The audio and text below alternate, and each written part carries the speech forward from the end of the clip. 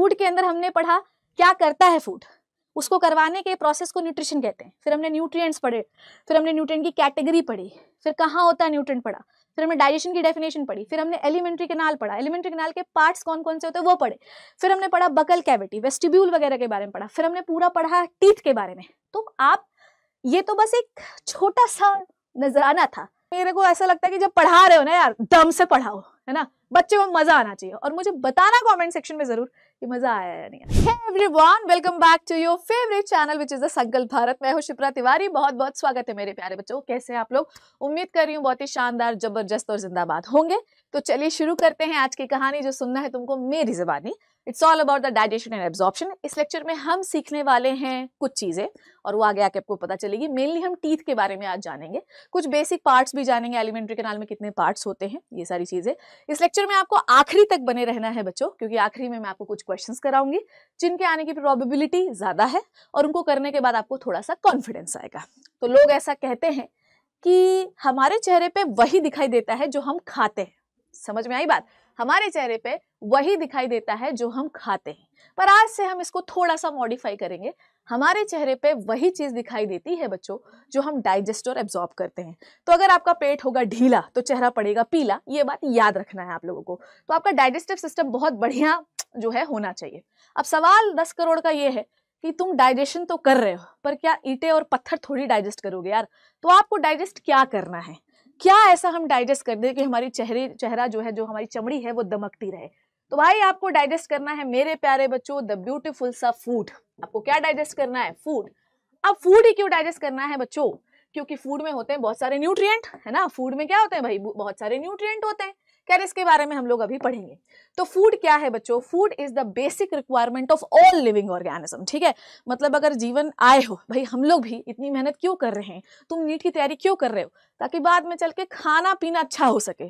तो food is the basic requirement of all living organism ठीक है? फ़ूड इज़ आज हमारा लेक्चर लाइट होने वाला है तो अगर आप ये सोच रहे हैं कि हम बहुत ज़्यादा आज पढ़ लेंगे, नहीं, आज एक लाइट सा लेक्चर है जिसमें आप थोड़ा सा इतमान से सुनो मेरी बात। समझो मेरी बात, मैं क्या कह रही हूँ? उसके बाद तो हमारे पास पूरा टाइम बचा है, जिसमें मैं आपको ताबड़तोड़ तैयारी करवाऊँगी और नीट में सिलेक्शन करवाऊँगी। तो भाई फ़ूड क्या है हमारी? Food is the basic requirement of all all human beings की बात कर लेते हैं, क्योंकि आज हम डाइजेशन किसी जानवर का तो पढ़ नहीं रहे तो ह्यूमन बींग्स की, ठीक है? तो food is the basic requirement of all human beings या ऑल लिविंग ऑर्गेनिज्म समझ में आई बात? अब बेसिक नीड के साथ साथ हमारा जो फ़ूड है, वो क्या करता है? सवाल ये है कि क्या करता है? फ़ूड ज़रूरी है बच्चों, किस चीज़ के लिए? सर्वाइवल के लिए। आप ज़िंदा नहीं रहेंगे अगर आपको खाना नहीं मिलेगा। आपकी बॉडी में मेंटेनेंस का प्रोसेस नहीं होगा बच्चों। समझ में आई बात? आपकी बॉडी में मेंटेनेंस का प्रोसेस नहीं होगा अगर आपकी बॉडी में भोजन नहीं होगा। मतलब सेल टूटती तुम सोचो ना यार अगर आपको पाँच दिन तक खाना ना मिले तो आपका चेहरा कैसे हो जाता ठीक है तो आपको खाना खाना बहुत ज़रूरी है ताकि आपका चेहरा जो है मेंटेन होता रहे, क्योंकि हर समय कंटिन्यूसली आपकी सेल का ब्रेकडाउन होता रहता है नई नई सेल्स बनती रहती है तो उनको बनाने के लिए हमें क्या चाहिए? न्यूट्रिएंट्स चाहिए न्यूट्रिशन चाहिए, और वो हमको मिलता है हमारे फ़ूड से, ठीक है? और ये आपको क्या देता है? ग्रोथ देता है भाई। ग्रोथ देता है, ये आपको प्रोटेक्शन देता है और एन नंबर ऑफ़ फ़ंक्शन इसके हैं। अब आपके मन में सवाल हो रहा होगा मैम डाइजेशन पढ़ रहे हैं फ़ूड क्यों पढ़ रहे हैं? सीरीज़ वाइज चलो, है ना? सीधे से डाइजेशन मत करने लगो। भाई, किसका डाइजेशन करना है? ईट पत्थर का थोड़ी करना है तो थोड़ा सा फ़ूड के बारे में भी आपको पढ़ना पड़ेगा। अब सवाल ये है कि ये सारे जो फ़ंक्शन है, ये सारे क्या है बेटा? ये सारे फ़ंक्शंस हैं फ़ूड के जो हमारे बॉडी में हमें मिलते हैं। पर ये फ़ंक्शंस हम कैसे लेंगे बेटा? छीनेंगे फ़ूड से छीनेंगे, लड़ाई लड़ाई झगड़ा करोगे? क्या करोगे ऐसा बेटा? तो अब जो प्रोसेस हम अपनाएँगे, ताकि फ़ूड से हमें ये सारे फ़ंक्शन मिल सके, उन्हें हम कहते हैं न्यूट्रिशन फिर से सुनो। ये फ़ंक्शन पाने के लिए जो प्रोसेस हम अपनाते हैं, उसे हम कहते हैं न्यूट्रिशन ध्यान से सुनिएगा। न्यूट्रिशन की एक डेफिनेशन में लिख देती हूँ तो आप लोगों को और ज़्यादा थोड़ा सा क्लियर हो जाएगा। So what is the nutrition nutrition is sum total of all the processes ध्यान से सुनिए। ध्यान से सुनिए। इट इज़ अ टोटल या लिख दो। ऑल द प्रोसेसेस या it is the process it is the process ये एक प्रोसेस है in which in which what we are doing हम क्या कर रहे हैं? In which in which we are we are taking those substances, taking those substances, हम क्या ले रहे हैं बेटा? हम कुछ ऐसे सब्सटेंसेस ले रहे हैं विच गिव्स या which provides which provides which provides क्या क्या विच प्रोवाइड्स ग्रोथ बोलते जाओ क्या क्या लिखा है इसमें? Which provide growth which provide survival which provide maintenance ठीक है? और क्या लिखा है वहाँ पे देखो? मेंटेनेंस को पूरा लिख लेना। Which provide maintenance which provide protection है ना? विच प्रोवाइड एवरीथिंग तो न्यूट्रिशन क्या है? ये वो प्रोसेस है जिसमें हम उन सब्सटेंसेस को लेते हैं ताकि हम ये सारी चीज़ें अचीव कर सके। अब कौन सा सब्सटेंस लेना है? तो न्यूट्रिशन क्या है? Nutrition is the process in which we are taking those substances in which we are taking those substances which which gives these type of functions अब सवाल हमारा ये है कि कौन से सब्सटेंसेस लेना है बच्चों? बताओ जरा, कौन से सब्सटेंस ले लोगे?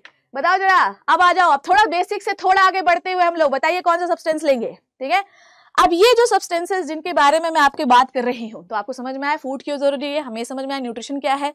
जो फ़ूड के फ़ंक्शन है, वो तब आएँगे जब हम सब्सटेंसेस लेंगे, ठीक है? अब वो सब्सटेंसेस क्या हैं बच्चों? बताओ जल्दी से, वो सब्सटेंसेस क्या हैं? वो सब्सटेंसेस हैं बच्चों न्यूट्रिएंट्स है ना? वो सब्सटेंस क्या है लल्ला? वो है आपके न्यूट्रिएंट्स क्या है बच्चों? न्यूट्रिएंट्स है ना? ये चीज़ आपके चेहरे पे ग्लो लाती है। समझ में आई बात? तो फ़ूड हमको प्रोटेक्शन सर्वाइवल ग्रोथ सब कुछ देता है। और ये फ़ंक्शन हमें जिस प्रोसेस से मिलते हैं, उसे हम कहते हैं न्यूट्रिशन ठीक है? तो जब तक आप न्यूट्रिएंट नहीं लेंगे, आपको न्यूट्रिशन नहीं मिलेगा और आपके चेहरे पे ग्लो नहीं आएगा। ठीक है? अब ध्यान से समझिएगा न्यूट्रिएंट्स क्या होते हैं? ठीक है? या न्यूट्रिएंट्स क्या क्या करते हैं? ठीक है? Nutrients found into the food, ठीक है? अब ये देखो इधर इधर इधर, ठीक है ठीक है, बहुत बार बोल रही हूँ क्या चलो तो nutrients found into the food, found into the food, ठीक है? अब देखो भाई जी अच्छा फ़ूड खाओगे तो ज़्यादा मिलेंगे, खराब फ़ूड खाओगे तो कम मिलेंगे, सीधी बात है। अब ये जो फ़ंक्शन फ़ूड दे रहा है, वो एक्चुअली इन्हीं के फ़ंक्शन है। अब न्यूट्रिएंट का एक क्लासिफिकेशन है जो आपको ध्यान से सुनना है और आपने छोटी क्लासेस में इनको पढ़ा होगा। अब देखो सीरीज़ वाइज ही मैं बढ़ूँगी अगर आप ये सोच रहे हैं कि बिल्कुल उठ के और सीधे उड़ने लग जाएँगे, ऐसा नहीं होगा, ठीक है? चलो, आ जाओ। अब देखो टाइप्स ऑफ़ न्यूट्रिएंट्स की बात हम लोग करने वाले हैं। चलो चलो चलो, जल्दी आ जाओ, फटाफट से वाला पार्ट कंप्लीट करेंगे, क्योंकि बहुत ही बेसिक है ना। तो टाइप्स ऑफ़ न्यूट्रिएंट्स में अगर हम बात करें तो सबसे पहला क्लासिफिकेशन क्या होता है बच्चों?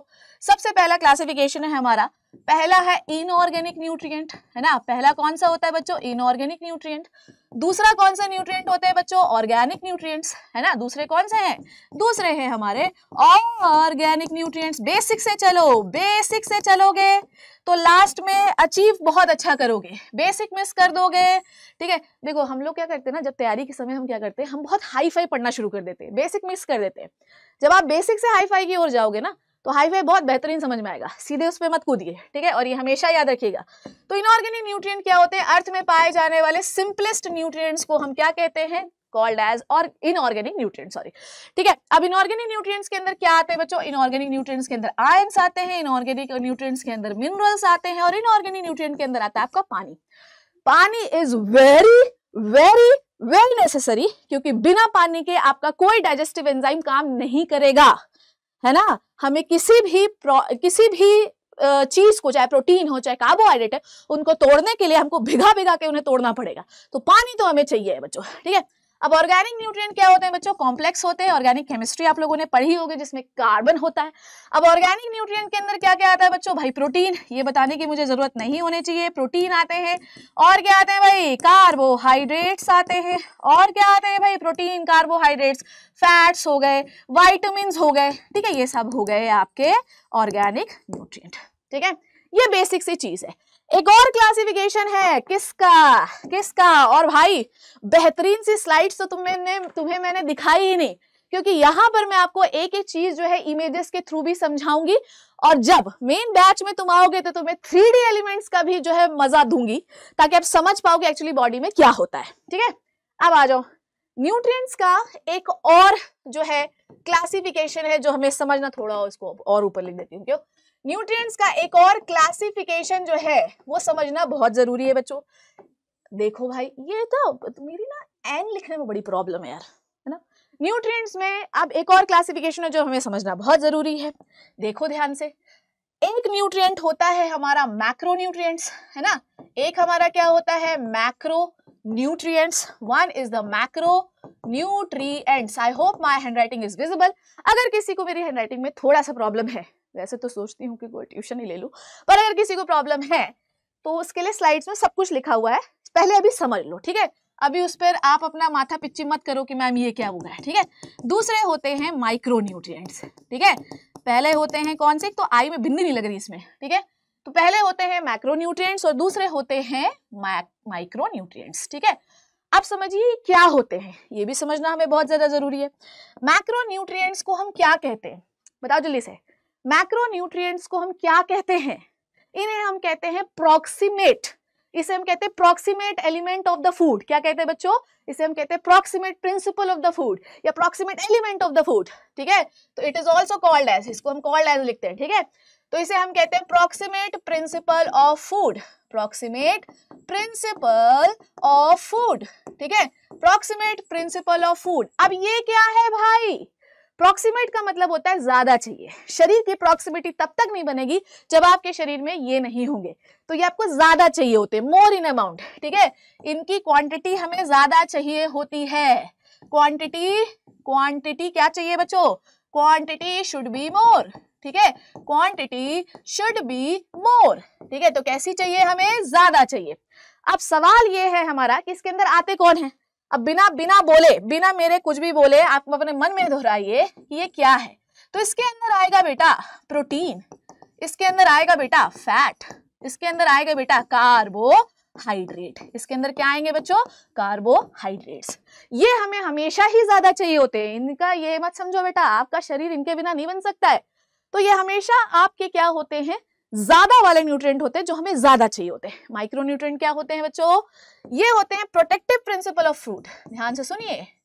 इनकी ज़रूरत खाने में प्रोटेक्शन के लिए होती है। तो these are the protective principles of food ठीक है? तो आपके खाने में इनकी ज़रूरत क्यों है? आपके खाने में इनकी ज़रूरत इसलिए है ताकि आपकी बॉडी में प्रोटेक्शन हो सके सपोर्ट हो सके मेंटेनेंस हो सके रिपेयर हो सके। क्लियर अब बताओ क्यों क्यों चाहिए होता है? भाई कौन सी चीज़? जब तुम बीमार होते तो क्या कहती है? काढ़ा पी ले, है ना? काढ़े में क्या होता है भाई? काढ़े में बहुत सारी जड़ी बूटियाँ होती है जो आपको मिनरल्स आयन वाइटामिन देती हैं, है ना? तो क्या क्या होगा भाई? इसके अंदर आएँगे वाइटमिन ठीक है? इसके अंदर आएँगे मिनरल्स है ना? और इसके अंदर आएँगे ions am I clear to everyone तो ये एक क्लासिफिकेशन हुआ। फ़ूड क्या है? किस चीज़ के लिए चाहिए? वो फ़ंक्शन पाने के लिए हम जो प्रोसेस अपनाते हैं, उसे हम न्यूट्रिशन कहते हैं।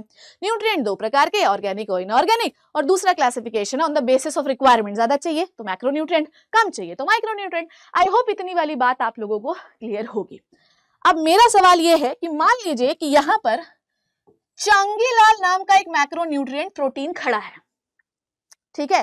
मान लो कि यहाँ पर एक प्रोटीन चंगीलाल नाम का खड़ा है। अब अगर ये शिप्रा मैम की बॉडी पे चला जाए तो क्या ये आपको बेसिकली बेसिकली न्यूट्रिएंट क्या देते हैं हमें? आप लोगों ने देखा nutrient found into the food which gives the energy तो क्या देते हैं आपको? एनर्जी देते हैं। अब मेरा सवाल ये है कि अगर शिप्रा मैम ने ये प्रोटीन खा लिया है, रोटी खाई, दूध पीला कुछ भी कर लिया तो क्या ये आपको ऐसी एनर्जी दे सकते हैं? ये चंगी लाल जाए और एनर्जी करके एनर्जी दे सकता है? नहीं दे सकता है बच्चों। तो अब हमें इस प्रोटीन को तोड़ना होगा, ठीक है? इस प्रोटीन को हमें क्या करना होगा बेटा? तोड़ना होगा, ठीक है?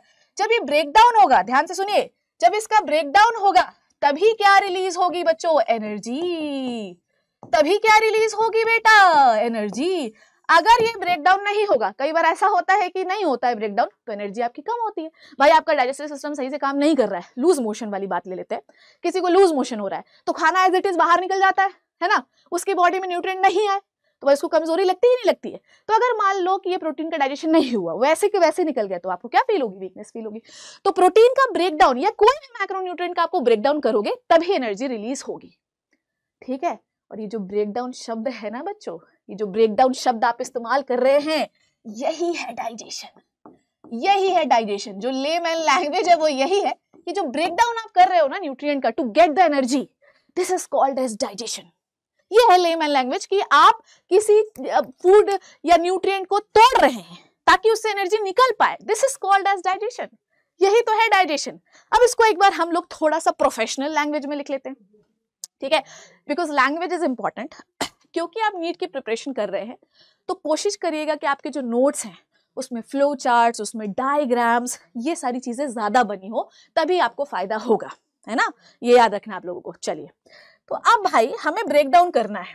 ठीक है this process is called as digestion पर भाई मैम ऐसे थोड़ी मानेंगे हम, ये थोड़ी डाइजेशन है। तो भाई डाइजेशन है क्या? डाइजेशन है क्या? चलिए देखते हैं डाइजेशन क्या है। Digestion is a process digestion is a process process in which in which complex complex food बोल देते हैं बहुत सारे लोग, पर हम बोलेंगे न्यूट्रिएंट हम बोलेंगे nutrient complex nutrients complex nutrients broken down broken down और converted into converted into simple simple and and absorbable form ये क्या लिख दिया मैम आपने? ये क्या लिख दिया?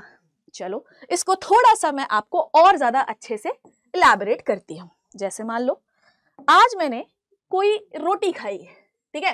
मान लो आज मैंने कोई रोटी रोटी वोटी खाते हो कि नहीं खाते हो? खाना चाहिए, बहुत प्रोटीन होता है उसमें। एक ग्राम रोटी में करीब एक से दो ग्राम प्रोटीन होता है, एक रोटी में, ठीक? अब मान लीजिए इस रोटी में, मान लो कि प्रोटीन है, ठीक है? इस रोटी में प्रोटीन है, ठीक है? समझ गए? अब ध्यान से सुनना। अब ये प्रोटीन आपकी बॉडी में जाएगा। अब ये प्रोटीन कहाँ जाएगा? आपकी बॉडी में जाएगा। ठीक है, जैसे ही आपकी बॉडी में जाएगा, आपकी बॉडी में डाइजेशन स्टार्ट होगा। आपकी बॉडी में डाइजेशन स्टार्ट होगा। और इससे के अंदर जो प्रोटीन प्रेजेंट है, ठीक है, उसे हम छोटे छोटे टुकड़ों में या छोटे छोटे छोटे छोटे टुकड़ों में तोड़ देंगे। ठीक है this is called as digestion this is called as digestion किसी भी कॉम्प्लेक्स चीज़ को, किसी भी कॉम्प्लेक्स चीज़ को आपको करना है सिंपल किसी भी चीज़ को सिंपल करना है, इस प्रोसेस को हम कहते हैं डाइजेशन अब एक बात और ध्यान सुनिए, ध्यान से सुनिएगा कि डाइजेशन प्रोसेस है क्या? डाइजेशन इज़ द ध्यान से सुनिए डाइजेशन है क्या बच्चों? डाइजेशन एक मैकेनिकल प्रोसेस है। ध्यान से सुनो डाइजेशन एक मैकेनिकल प्रोसेस है बेटा। डाइजेशन एक मैकेनिकल प्रोसेस है। डाइजेशन क्या है? एक मैकेनिकल प्रोसेस है। और डाइजेशन क्या है? एक बायोकेमिकल प्रोसेस है। तो डाइजेशन एक मैकेनिकल प्रोसेस है और एक बायोकेमिकल मतलब सेम ही चीज़ है। सेम ही चीज़ का मतलब ये है कि दो प्रॉपर्टीज़ है इसके बाद। तो भाई ये ऐसा है कि डाइजेशन मैकेनिकल प्रोसेस है और बायोकेमिकल प्रोसेस है। और मतलब ओ आर वाला और नहीं है। और का मतलब है और। ठीक है? तो ये ये प्रोसेस है। अब मैकेनिकल प्रोसेस का मतलब क्या होता है? मैकेनिकल का मतलब क्या होता है? मैकेनिकल का मतलब होता है आपने ये रिमोट उठाया और इसे दो टुकड़ों में तोड़ दिया। जब आप अपने खाने को अपने माउथ में ले आते हैं तो आप क्या कर रहे होते बच्चों? तो आप मैकेनिकली अपने फ़ूड को छोटे छोटे टुकड़ों में तोड़ रहे हैं। समझ में आ गई बात? तो मैकेनिकल का मतलब क्या हो गया भाई? मैकेनिकल का मतलब क्या हो गया? कि आपने इस बड़े बड़े फ़ूड को छोटे छोटे टुकड़ों में तोड़ दिया। आपने फ़ूड को क्या किया?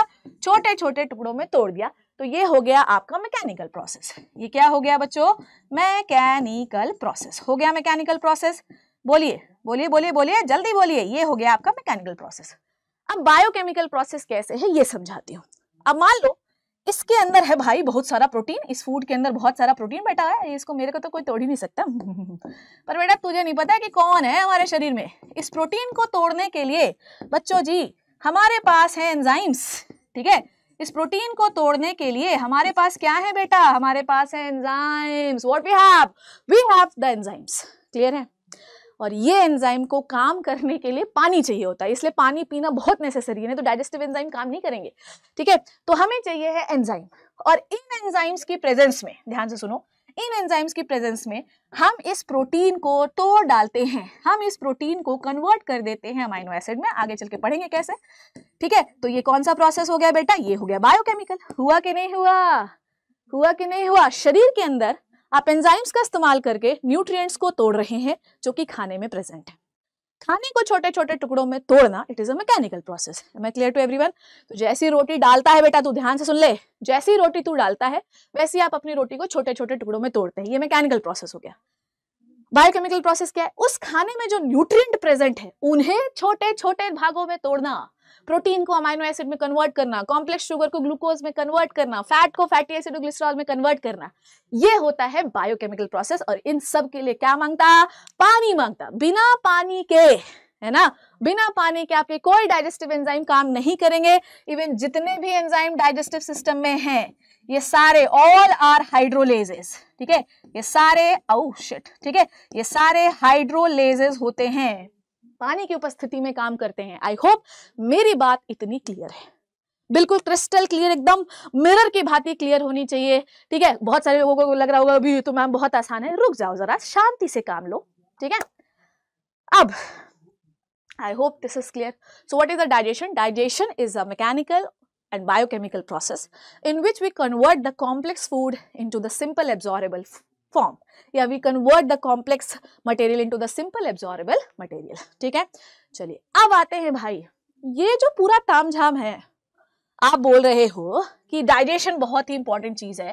तो डाइजेशन होगा कहाँ? ठीक है हमने फ़ूड से कहानी शुरू की है फिर हमने न्यूट्रिएंट पे आए हैं फिर हम डाइजेशन की डेफिनेशन कर ली हमने। अब ये डाइजेशन जो है एटा हो भी कहा? कहा होगा?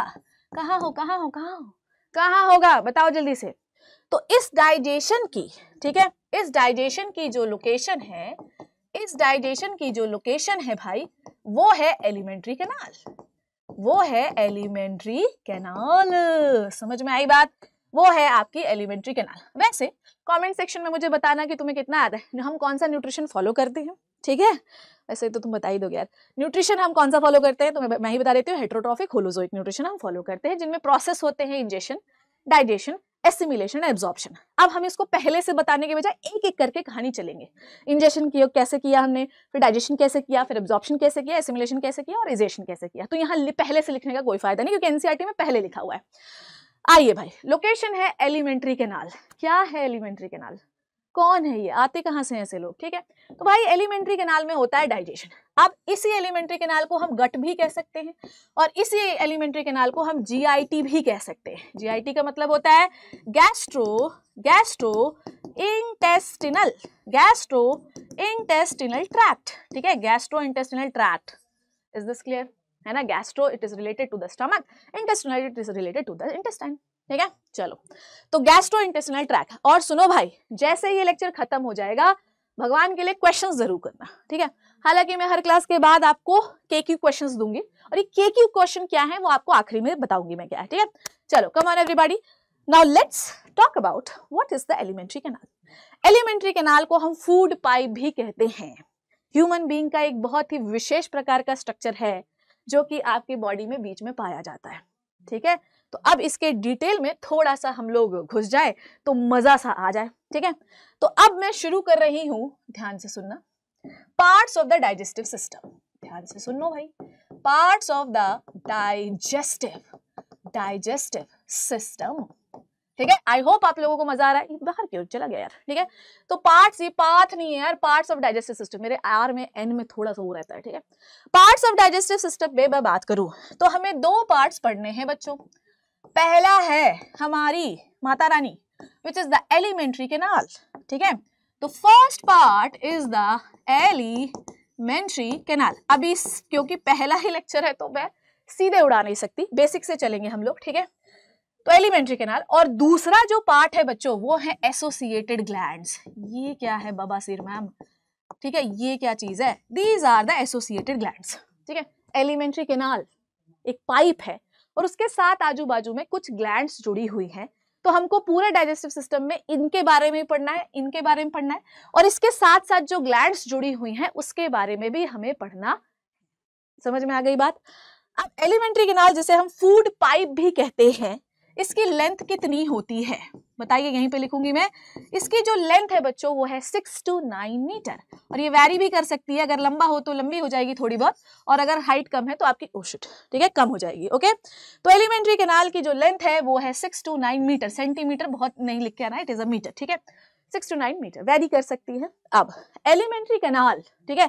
अब बहुत सारे बच्चे बोलेंगे, मैम, एक घंटे से एलिमेंट्री कैनाल बोल रही है क्या एलिमेंट्री कैनाल आ जाओ बेटा, आ जाओ बेटा, आ जाओ आ जाओ आ जाओ। ये है elementary canal this is the elementary canal मतलब अगर आप देख रहे होंगे तो ये आपका माउथ है, ठीक है?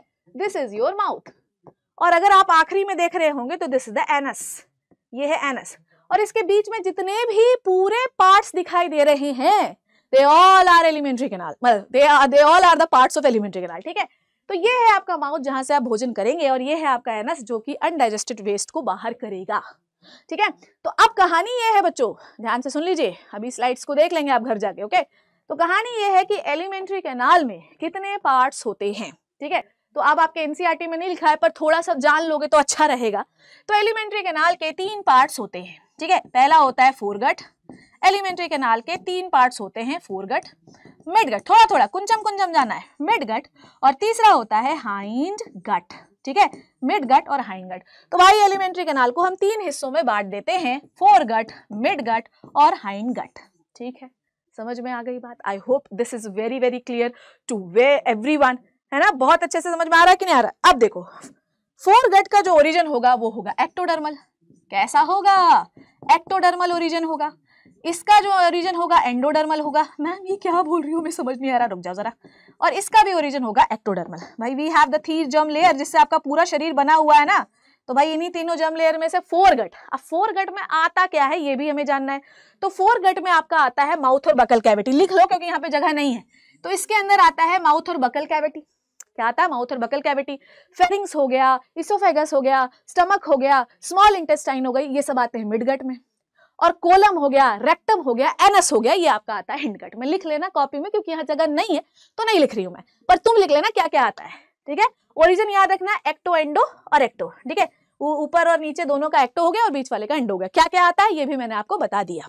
कितने लंबी होती है, ये भी मैंने आपको बता दिया।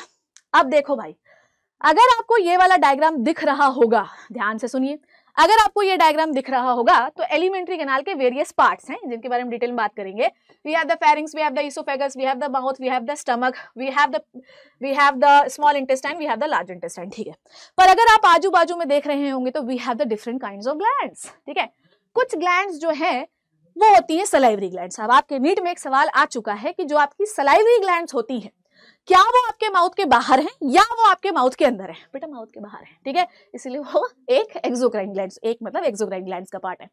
आप सुनिए तो भाई आपके पास क्या है? सलाइवरी ग्लैंड जो कि डाइजेशन में हेल्प करेंगे। दूसरी जो ग्लैंड बहुत इंपॉर्टेंट है बच्चों, वो है आपकी लिवर तीसरी जो ग्लैंड बहुत इंपॉर्टेंट है बच्चों, वो है पेंक्रियास चौथी जो बहुत इंपॉर्टेंट ग्लैंड है, वो है गैस्ट्रिक ग्लैंड पांचवी जो बहुत इंपॉर्टेंट ग्लैंड है, वो है आपकी इंटेस्टिनल ग्लैंड ठीक है? तो आपके पास जो ग्लैंड जो आपको पढ़नी है पूरे एलिमेंट्री कैनाल में, वो भी सुन लीजिए। तो पहली भाई, सबसे पहले इससे शुरू करेंगे सलाइवरी ग्लैंड्स तीन पेयर होती हैं अलग अलग जगह पे लोकेशन में पाई जाती हैं। सलाइवरी ग्लैंड्स के बाद आइए ईसोफेगस में कोई ग्लैंड होती है? ना ना, नहीं होती। उसके बाद स्टमक में कोई ग्लैंड्स होती हैं? जी हाँ। गैस्ट्रिक ग्लैंड्स होती हैं? क्या निकालती हैं? गैस्ट्रिक जूस निकालती हैं। बहुत इंपॉर्टेंट है, जिसमें एंजाइम्स एचसीएल म्यूकस तीनों होता है।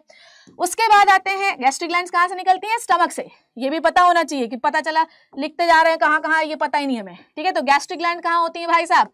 ये होती हैं आपके स्टमक में। ठीक है? उसके बाद आओ, भाई, नीचे आओ। तो आपके पास है लिवर। अब बहुत सारे लोग बोलते हैं, ma'am gall bladder no it is not the gland okay अब उसके बाद लीवर के बाद आता है पेंक्रियाज बहुत इंपॉर्टेंट बहुत इंपॉर्टेंट एक्सोर एंडो दोनों पार्ट होते हैं इसके पास। उसके बाद आता है आपका पेंक्रियाज के बाद आ गया इंटेस्टिनल ग्लैंड्स इंटेस्टिनल ग्लैंड जिन्हें हम क्रिप्स ऑफ़ लिवर कुन कहते हैं। अब बहुत सारे जो बीच बीच में वर्ड्स बोल देती हूँ, इसमें घबराने की ज़रूरत नहीं है। सुनो भाई, जब मैं पढ़ा रही हूँ तो जिसने पहले दिन पढ़ा है, जिसने आज तक एनसीईआरटी e कभी खोली ही नहीं है, मैं कह रही हूँ ना एनसीईआरटी e खोली नहीं, हमको कुछ नहीं आता है, वो भी इन लेक्चर से पढ़ सकता है, याद रखना, ठीक है? तो इंडिया के हर बच्चे को ऐसे ही पढ़ना चाहिए, ठीक है? चलो यार, ठीक है ठीक है कितना बोल रही हूँ यार, ठीक है? ठीक salivary gland gastric gland liver pancreas हो गया intestinal glands I hope this is clear to everyone तो ये सारी पार्ट्स के बारे में हमें इस पूरे चैप्टर में बढ़िया और शानदार तरीके से पढ़ना है। क्या आप रेडी हैं आगे पढ़ने के लिए? बोलो जल्दी से। ठीक है? So let start with the alimentary canal चलो, आ जाओ भाई। पूरा डाइजेशन तो एलिमेंट्री कैनाल में ही होना है। तो उसे कैसे छोड़ सकता हूँ मैं? चलो इस वाले पेन से ट्राई करते हैं। आ जाओ आ जाओ आ जाओ आ जाओ आ जाओ। आ जाओ भाई जल्दी से। एलिमेंटरी कैनाल चलिए भाई alimentary canal what is the alimentary canal यार? It is a coiled tube लिखेंगे? लिखेंगे भाई। बोलो, मेरे और सारे बच्चे मेरे साथ ही नोट्स बनाया करिए, तभी आपकी आदत बनेगी। ठीक है? So it is the coiled tube it is a coiled tube ये क्या है बच्चों? एक कॉइल ट्यूब है। है ना? It is a coil tube start from the mouth start from mouth and ends up to where ends up to anus दूसरी सी characteristics क्या है बच्चों having having different diameter different diameter having different diameter at different positions At different ये different पूरा लिख रही हूँ, ठीक है? डिफरेंट पोजिशन इनका डिफरेंट डायमीटर होता है डिफरेंट पोजिशन पे। देख लो देख लो कात्या, है ना? देखो इसोफेगस में डायमीटर पतलू, है ना? स्टमक में डायमीटर ज़्यादा हो गया।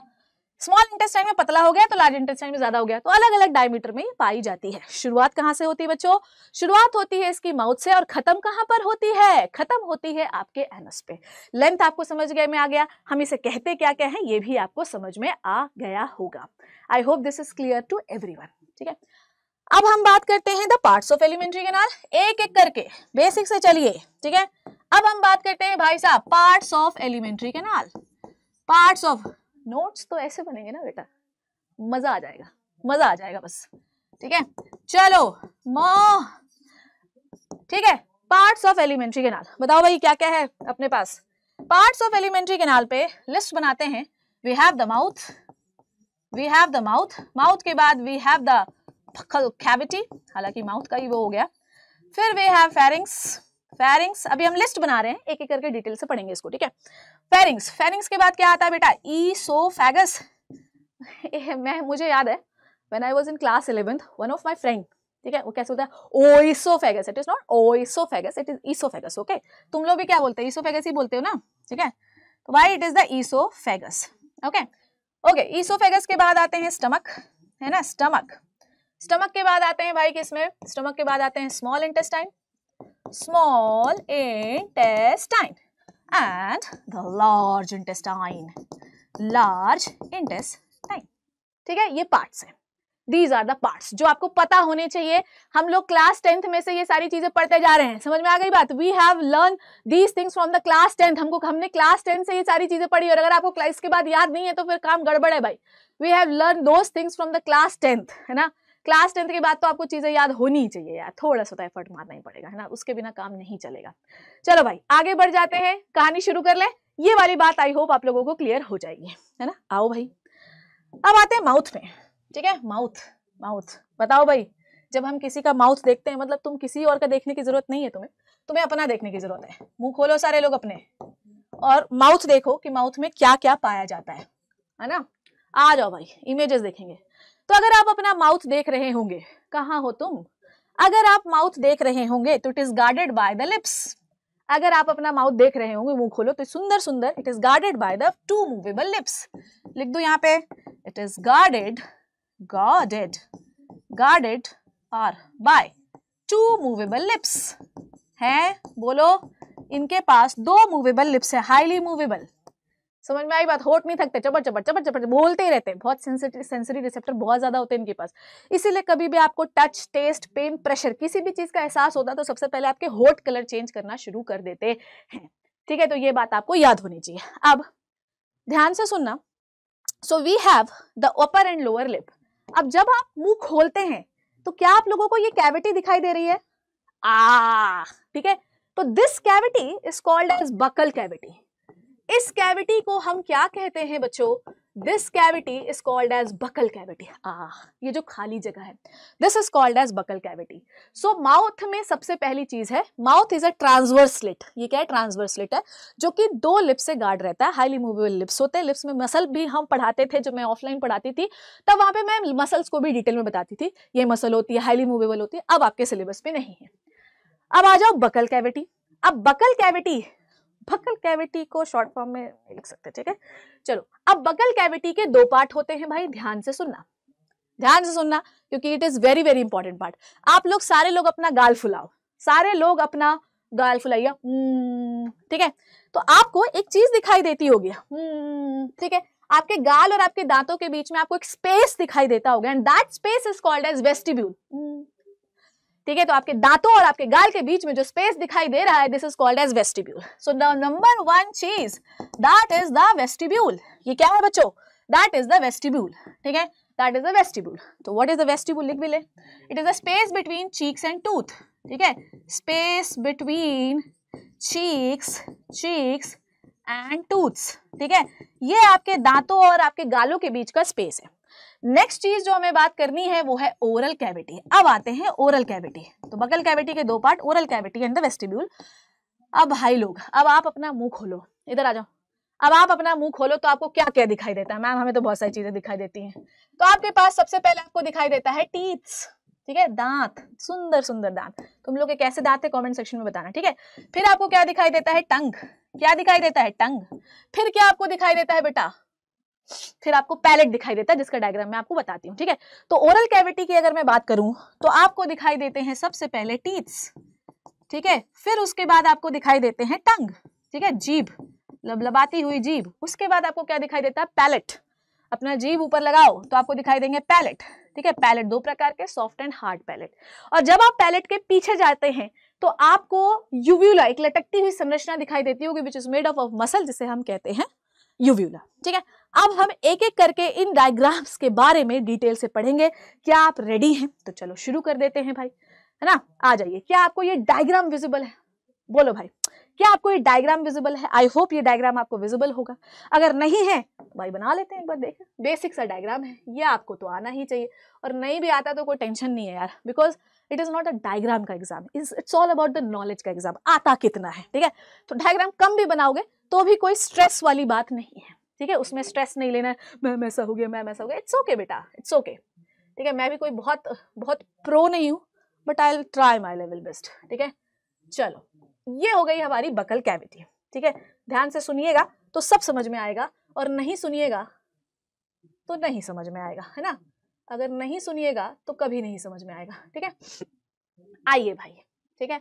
सब लोग मेरी बातों को ध्यान से समझिएगा, है ना? आपके पास, आपको पता होना चाहिए कि आपका डाइजेस्टिव सिस्टम और आपका रेस्पिरेटरी सिस्टम ये दोनों बहुत पास पास हैं, एक दूसरे से बहुत प्यार करते हैं, ठीक है?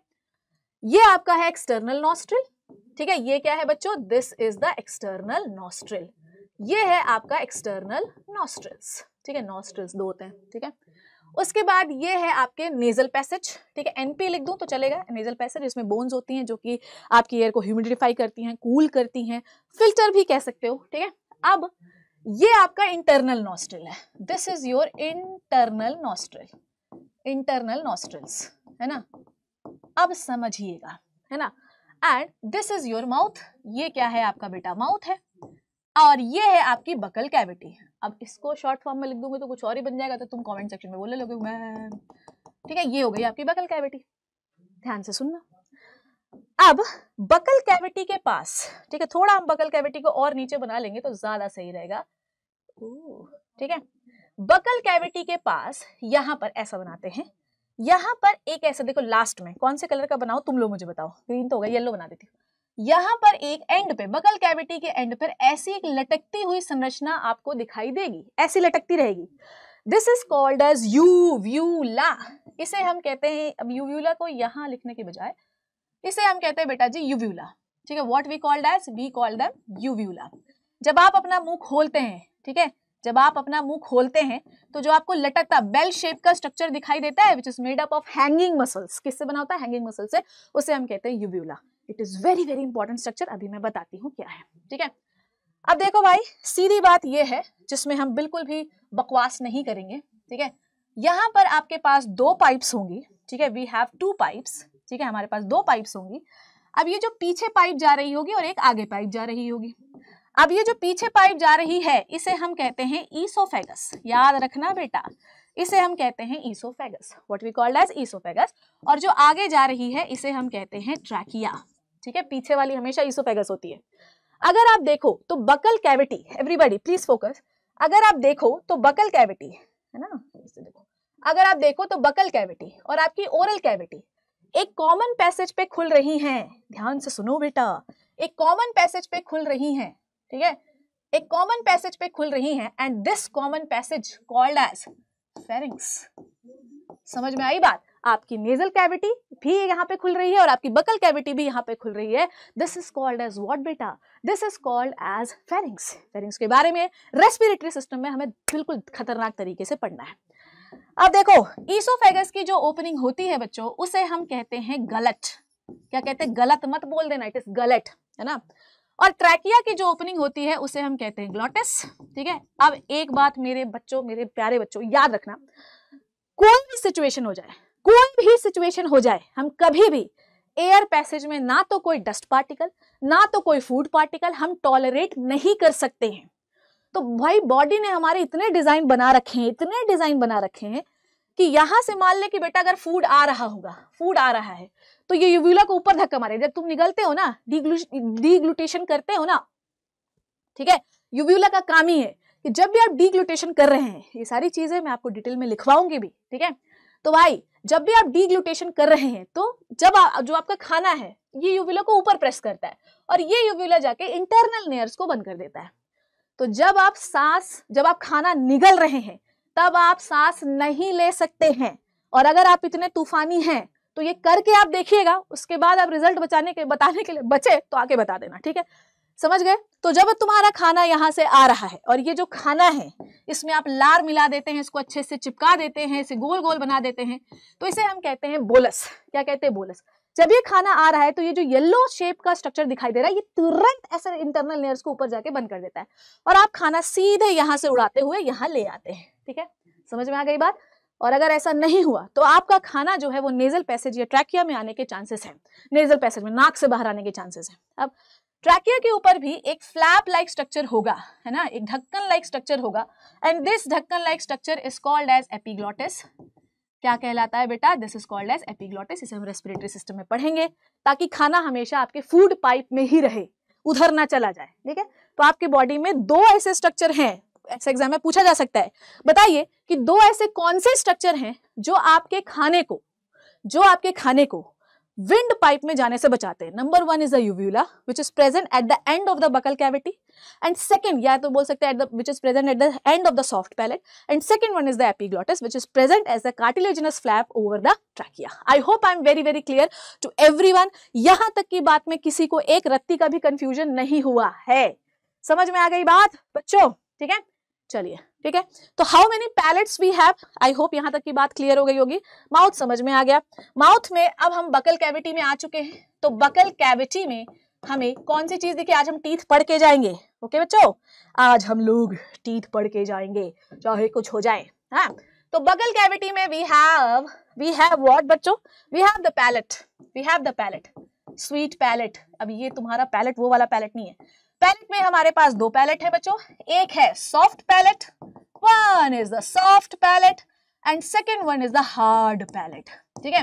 ये जो हार्ड पैलेट होता है बच्चों it is surrounded by so many bones और हार्ड पैलेट जो है नेजल पैसेज और ओरल पैसेज को अलग करता है। जो हार्ड पैलेट है ना, देखो, जीभ लगाओ।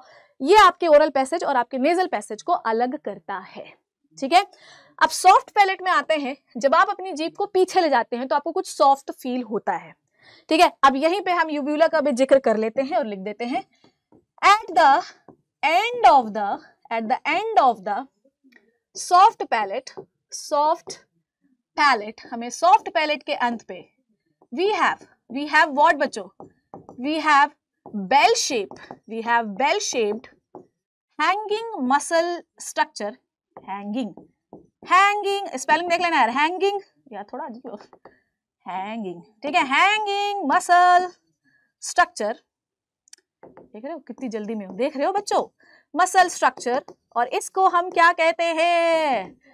This is called as uvula ठीक है यूव्यूला आई होप आपने फ़ंक्शन लिख लिया होगा और अगर नहीं लिखा है तो फिर से बोल रही हूँ। Uvula closes the internal layer during the deglutition या सॉलोइंग फ़ूड लिख देती हूँ मैं, लिख देती हूँ मैं। लिख देती हूँ मैं, सब लिख दूँगी मैं। आ जाओ। यार, थोड़ा सा ना हैंडराइटिंग के साथ कोऑपरेट करना पड़ेगा। धीरे धीरे आप समझ जाएँगे कि मैं क्या बोल रही हूँ, ठीक है? So what is the uvula ठीक है? यू व्यूला क्या है?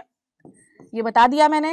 इट क्लोजेस क्लोजेस द क्या क्लोज करता है? इंटरनल लेयर्स इंटरनल नॉस्ट्रिल या internal layers at the at the time of deglutition deglutition और सोलोइंग तो याद रखना स्वॉलोइंग ठीक है? तो जब आप खाना, जब आप खाना निगल रहे हैं, तब आप सांस नहीं ले सकते हैं।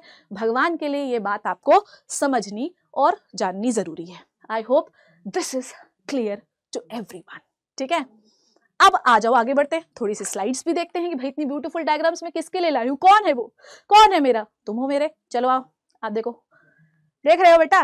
तो ये जो आपको यहाँ पे दिख रहा है ना ये this is the hard palate पीछे जाओगे तो सॉफ्ट पैलेट वहीं नीचे यूविलर लटकता है। Palate roof of the oral cavity this is palate anterior part hard palate and posterior part is the soft palate freely hang down होता है small structure called as uvula tongue अब tongue की बात करें टंग को हम डिटेल से पढ़ेंगे। अभी हम टंग अभी नहीं पढ़ रहे हैं अभी हम टीथ पढ़ेंगे। टंग क्या होता है? आ, तुमको पता है टंग एक ऐसा स्ट्रक्चर है बेटा जो कभी थकता ही नहीं है। मतलब आदमी मरणासन पे भी बैठा होता है ना तो अभी टंग चलता ही रहता है, चलता ही रहता है। टंग भयंकर तेज स्ट्रक्चर है, क्योंकि बहुत छोटी मसल से बना होता है। तो ये जो मसल्स होती है, बच्चों, आसानी से थकती हैं और आसानी से रिकवर हो जाती हैं, है ना? तो टंग जो है, अगर आप देखो तो एक फोल्ड से जुड़ा हुआ रहता है बकल कैविटी में। इसे हम कहते हैं frenulum what we called as we called this fold frenulum लिखा हुआ था वैसे फ्रेन्यूलम ठीक है? तो तो टंग आपकी बकल कैविटी में जिस फोल्ड से जुड़ा हुआ होता है, उसे हम फ्रेन्यूलम लिंगवी कहते हैं, पर तुम्हें सिर्फ़ फ्रेन्यूलम याद करना है, ठीक है? अब आ जाओ टीथ टीथ आशकी में तेरी जाएगी जान मेरी, ठीक है? अब देखो टीथ क्या है it is a masticatory structure क्या है बच्चों? टीथ एक यूनिक मेस्टिकेटरी स्ट्रक्चर है। लिखो, चलो रेडी हो टीथ पढ़ने के लिए? टीथ पढ़ के जाओ यार। कम से कम एक टॉपिक अच्छे से करके जाओ, है ना? मज़ा आना चाहिए। पढ़ के लगना चाहिए, कुछ पढ़ के आए हैं हम, है ना? टीथ क्या है बच्चों? It is a unique masticatory structure बोलो मेरे साथ। यूनिक मेस्टिकेटरी मेस्टिकेटरी अब आधे बच्चे सोच रहे होंगे मेस्टिकेशन क्या है? मेस्टिकेशन का मतलब होता है फ़िज़िकल ब्रेकडाउन ऑफ़ फ़ूड गाय को देखा जो गाली करते हैं? तो गाय खाना चबाती है ना? तो ये it is a masticatory structure ठीक है? It is a unique masticatory structure clear है? I hope this is clear to you ठीक है? अब देखो भाई स्ट्रक्चर हम आखिरी में पढ़ते हैं क्योंकि वो लेस इंपॉर्टेंट है। बाकी जो चीज़ें इंपॉर्टेंट है, वो हम सबसे पहले पढ़ेंगे। ठीक है? इसका ओरिजिन भी पढ़ ही लो, क्योंकि आप ये पढ़ रहे हो तो let's talk about the origin to ये है ओरिजिन क्या होता है ओरिजिन एक्टोमीजोडर्मल क्या है ओरिजिन एक्टोमीजोडर्मल ये क्या है? मैम दो दो ओरिजिन एक ही चीज़ के कैसे? वो हम समझते हैं। बॉडी का सबसे हार्डेस्ट पार्ट है टीथ बहुत सारे लोग बोलते हैं, हड्डियाँ. ना आपके बॉडी का जो हार्डेस्ट पार्ट होता है बच्चों, वो है टीथ ठीक है? चलिए. अब हम शुरू करते हैं next part which is the characteristics and dentition of the teeth क्या कैरेक्टर होने चाहिए आपके दांत के पास? क्या अरेंजमेंट है टीथ्स का? ठीक है? तो व्हाट आर द देखो डेंटेशन को हम कहते हैं अरेंजमेंट ऑफ़ टूथ्स या टीथ्स ठीक है? तो आपके दांतों का क्या अरेंजमेंट होना चाहिए? और क्या कैरेक्टरिस्टिक्स होने चाहिए, वो हम देखते हैं। So let's talk about the dentition dentition का मतलब क्या हो गया है? कैसे अरेंज होंगे वो? Dentition and characteristics characteristics of teeth pen भी पागल हो रहा है। बस मैम बस बस करूँ। नहीं, बस नहीं होगा। तो dentition and the characteristics of teeth शुरू करें। सबसे पहला, बिना किसी देरी के, तुम्हें पता होगा। बताओ जल्दी से। सबसे पहला we have the heterodont teeth हमारे पास क्या होते हैं बच्चों? We have the heterodont teeth हमारे पास क्या है? हेट्रोडोंट हेट्रोडोंट का मतलब क्या होता है? Different types of teeths we have the different types of teeths हमारे पास डिफरेंट प्रकार के टीथ्स होते हैं। होते हैं? बोलो कौन कौन से होते हैं? बताओ जरा। कौन कौन से होते हैं? जबड़ा बना लिया जाए एक। बताओ जल्दी से। एक जबड़ा हो जाए, क्यों? जबड़ा ऐसे बना लेते हैं। या ऐसे बना लेते हैं। थोड़ा सा इसको ऐसे कर लेते हैं ना? जबड़ा बनाने में सही है। किसी का जबड़ा मान लो ऐसे मुँह खुला है, आ। तो इसके पास कौन कौन से दांत होने चाहिए? सबसे पहले इसके पास होने चाहिए इन सीजर्स इसके में मैंने गैप बनाया है, पर तुम्हें गैप नहीं बनाना, ठीक है? फिर इसके पास होते हैं बच्चों कैनाइंस कैनाइंस होते हैं। फिर इसके पास होते हैं प्रीमोलार्स ठीक है? फिर इसके पास क्या होते हैं बच्चों? प्रीमोलार्स और फिर इसके पास होते हैं मोलर्स ठीक है? फिर इसके पास होते हैं molars. Oh what the hell क्या हुआ? ठीक है? ये हो गए मोलार्स। तीन होने चाहिए वैसे तो। ठीक है?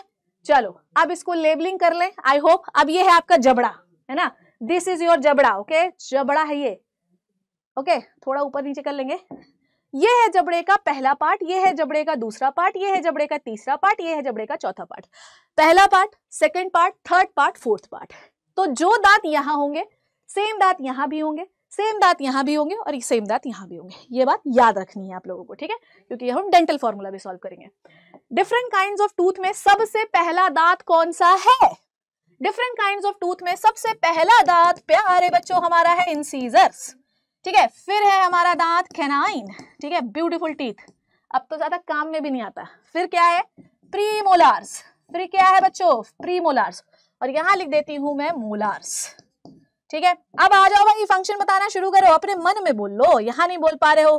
कोई बात नहीं कमेंट्स में बोल लेना और कमेंट्स में सब लोग बताइएगा। अच्छा मुझे बताना कमेंट्स में किसके किसके दांतों पे ब्रेसेस लगे हुए हैं? क्योंकि ये भी एक बड़ा समस्या वाला काम है भाई ब्रेसेस लगाना, उनके साथ मैनेज करना। इट इज़ रियली मैं उन बच्चों को बहुत दाद देती हूँ यार, जो ब्रेसेस के लिए मान जाते हैं, है ना? तो इंसीजर्स इंसीजर्स क्या करते हैं बच्चों, बताओ जल्दी से। इंसीजर्स क्या करते हैं? कटिंग काटते हैं किसी चीज़ को। फिर कैनाइन क्या करते हैं? टीयरिंग, फाड़ते हैं किसी चीज़ को। प्री मोलार और मोलार्स क्या करते हैं? ग्राइंडिंग। क्या करते हैं? ग्राइंडिंग। ग्राइंडिंग मतलब चबाना। ये दोनों ही ग्राइंडिंग करते हैं, ठीक है? तो we have the four kind of teeth तो we are teeth are called as heterodont teeth I hope this is clear to every ठीक है? बोलो बोलो, इतनी बात क्लियर हुई? बोलो। अब आ जाओ। अब हम इन टीथ्स के रूट के बारे में बात करते हैं और इसके लिए मैं आप लोगों को एक टेबल बनवा देती हूँ, जिससे आपको याद करने में आसानी होगी। इसको याद करेंगे ग्यारह ग्यारह। ध्यान से सुनो। इसको याद करने का एक फॉर्मूला बता देती हूँ। ग्यारह ग्यारह इक्कीस बत्तीस। ये क्या बोल गई मैम क्या बोल गई मैम चलो। अब इसको बनाते हैं, तब समझ में आ जाएगा। तो यहाँ पे हम लिखेंगे बच्चों टाइप्स ऑफ़ टीथ्स ठीक है?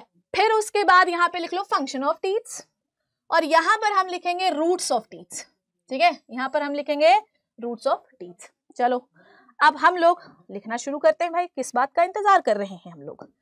Are we waiting for Christmas ये वाली लाइन ठीक नहीं बनी। आइए शुरू करें। सो so, यहाँ पर हम लिखेंगे टाइप्स ऑफ़ टूथ्स या टाइप्स ऑफ़ टीथ्स ठीक है? टाइप्स ऑफ़ टीथ्स ठीक है? फिर यहाँ क्या लिखेंगे? फ़ंक्शन ऑफ़ टीथ फ़ंक्शन लिख लो यहाँ पे। फिर यहाँ लिखो रूट्स यहाँ लिखो रूट्स ठीक है? और रूट में हमें एक और बनाना पड़ेगा। रूट में हम बनाएँगे अपर जॉ अपर जॉ में कितनी रूट है? एंड लोअर जॉ में कितनी रूट है? लोअर जॉ में कितनी रूट है बच्चों? ठीक है बच्चों? टाइप्स ऑफ़ टीथ्स शुरू कर रहे हैं। टाइप्स ऑफ़ टीथ में सबसे पहला दांत है इन सीजर्स है ना? इन सीजर इन सीजर को थोड़ा सा नीचे लिखती हूँ, इसके सामने लिखती हूँ ना। तो incisor incisor incisors आपको फ़ंक्शन में बता ही चुकी हूँ कटिंग में काम करता है। अब देखो फॉर्मूला याद रखना रूट्स कितनी है? मुझे एक बात बताओ, तुम अपने जबड़े को देखो एक बार, तुम्हें क्या महसूस होता है? अपर जॉ ज़्यादा मज़बूत लगता है लोअर जॉ मुझे तो लोअर जॉ लगता है। और तुम कभी देखना, किसी को घूसा पड़ता है ना तो ऊपर वाले दांत की जो खिड़की खुलती है, वो ज़्यादातर इंसीजर्स की खुलती है है ना? और ज़्यादातर लोअर जॉ जल्दी हिलता है। देखना, ऐसा क्यों है? समझाती हूँ। क्योंकि जो इंसीजर्स होते हैं, उनके अपर जॉ वाले दांतों में भी एक ही रूट है और दूसरे में भी एक ही रूट है। एनसीआरटी में डायग्राम बनाया गया है और हमें समझना है। ग्यारह ग्यारह, इक्कीस, बत्तीस, याद रखेंगे सर लोग। क्या क्या याद रखेंगे बच्चों? ग्यारह ग्यारह, इक्कीस, बत्तीस। हाँ जी तो इंसीजर इंसीजर में ऊपर भी, ऊपर वाला जो जबड़ा है, उसमें भी इंसीजर के चारों में एक ही एक रूट है और नीचे भी एक एक रूट है। अब दूसरा दांत कौन सा है मैम दूसरा दांत है केनाइन केनाइन का फ़ंक्शन मैंने आपको बता दिया है टीयरिंग करता है। इसमें भी ग्यारह ग्यारह इक्कीस बत्तीस। अब एक एक तुम अच्छे से बना लेना, ठीक है? ग्यारह ग्यारह, इक्कीस बत्तीस। अब आते हैं कौन से? प्रीमोलार। याद रखना, हमेशा अपर जॉ में ज़्यादा रूट्स होती हैं। क्या करता है? ग्राइंडिंग ठीक है? इसमें अपर जॉ में दो रूट होती हैं और लोअर जॉ में एक रूट होती है। और मोलार्स मोलार्स मोलार्स में अपर जॉ में इसका भी ग्राइंडिंग करता है। अपर जॉ में तीन रूट और लोअर जॉ में दो रूट तो हमेशा लोअर जॉ के जो दांत होते हैं, वो कमज़ोर होते हैं, कमज़ोर बोल रही हूँ मैं, ठीक है? कमज़ोर होते हैं। ग्यारह ग्यारह इक्कीस बत्तीस। याद रखेंगे सारे बच्चे? ग्यारह ग्यारह इक्कीस बत्तीस। ये याद करने का तरीका है। तो ये मैंने आपको बता दी रूट्स अगर आप एनसीईआरटी e का डायग्राम देखोगे तो आपको रूट समझ में आ जाएगी। देखो। देखो देखो देखो देखो देखो तो देखो, यहाँ एक रूट दिखाई दे रही है इंसीजर्स में। दिख रही है? क्नाइन में भी एक ही रूट दिखाई दे रही है। प्री मोलार्स में दो रूट दिखाई दे रही है और मोलार्स में तीन रूट दिखाई दे रही है। ठीक है बच्चों? तो ये पहला कैरेक्टरिस्टिक्स हमको समझ में आया कि we have the heterodont teeth दूसरा कैरेक्टरिस्टिक्स क्या है बच्चों हमारा? दूसरा we have the thecodont teeth तो अब हम देखेंगे what are the thecodont teeth देखो मैमल्स एंड क्रोकोडाइल्स का ये फीचर होता है थीकोडॉन टीथ ध्यान से सुनना। थीकोडॉन्ट टीथ ठीक है? हमेशा याद रखो कि we have the alveolus bone हमारे पास होती है एक एल्वियोलस बोन जिसके अंदर आपका ब्यूटीफुल सा करके दांत फंसा हुआ होता है, ठीक है? So we have the we have the beautiful teeth ठीक है? जो कि आपकी एल्वियोलस बोन में फंसा हुआ रहता है। समझ में आ गई बात? तो ये है आपकी एल्वियोलस बोन एल्वियोलस ठीक है? ये है आपकी एल्वियोलस बोन एल्वियोलस बोन ठीक है? और ये है आपका टीथ तो हमेशा आपका जो टीथ होता है वो सॉकेट में फंसा हुआ रहता है, ठीक है? टीथ्स लिख दू यहाँ पे? सारे बच्चे ध्यान से सुनो। Teeths always attached always attached to socket socket से अटैच रहता है तो इसे हम थीको डोंट थीको थीको। ठीक हो ठीक हो ठीक हो ना? ठीक हो तो ठीक है, कब होगा? जब जबड़े में दांत लगा रहेगा। तो ठीक हो डोंट टीथ ठीक है? उसके बाद नेक्स्ट यहीं पर मैं एक्सप्लेन करना चाहूँगी that is a bunodont bunodont teeth आपका ये भी एक दांतों का कैरेक्टरिस्टिक्स है ब्यूनोडोंट टीथ अब ब्यूनोडोंट टीथ क्या होते हैं? Teeths having cusp teeths having cusp cusp क्या होता है बेटा? धसाव। धसाव। अगर आप अपना पीछे वाला दांत देखो तो आपको ऐसे धसाव दिखाई देता होगा, और इसे ही हम कहते हैं कस्प क्या कहते हैं? कस्प तो हमारे दांतों में कस्प पाया जाता है धसा हुआ पार्ट पाया जाता है। These are called as bunodont teeth we have heterodont we have thecodont we have bunodont teeth अब आ जाओ। जो मेन कैरेक्टर है, वो आपको जानना है। We have the diphyodont teeth हमारे पास ये मेन है भाई। We have the diphyodont teeth क्या होते हैं?